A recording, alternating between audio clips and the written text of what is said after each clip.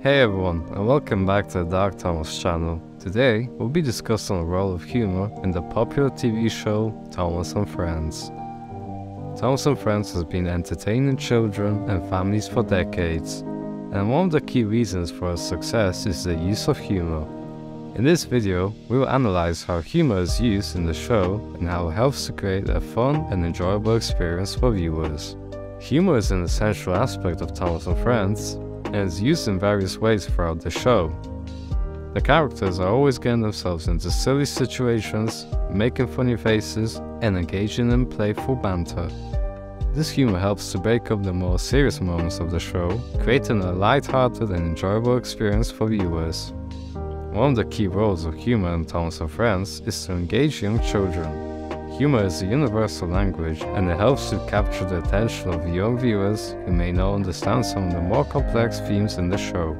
By using humor, the show is able to keep children entertained and engaged, making it more likely that they will continue watching. Humor also helps to create a sense of familiarity and warmth between the viewers and the characters. When viewers see their favorite characters engaging in silly antics and making jokes, it helps to create a connection between the viewer and the character.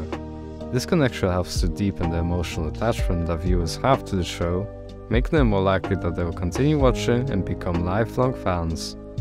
In conclusion, humor plays a crucial role in Thomas and Friends, helping to create a fun and enjoyable experience for viewers of all ages.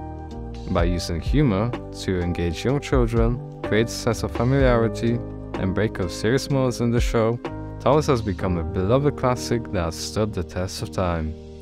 Thanks for watching, and I'll see you in the next video.